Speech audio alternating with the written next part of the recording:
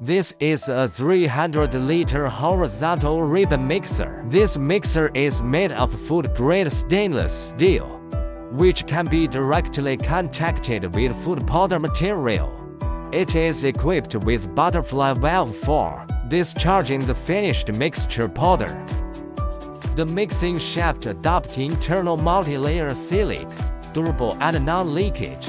The double-layer ribbon blender can be stirred anywhere, mixing with ideal mixing effective. Mixing is very uniform and less time cost. This mixer is used for mixing various dry powder or fine granule, mainly used in chemical coating, food powder, spice mixing and stirring. If you are interested in this machine, please feel free to contact me.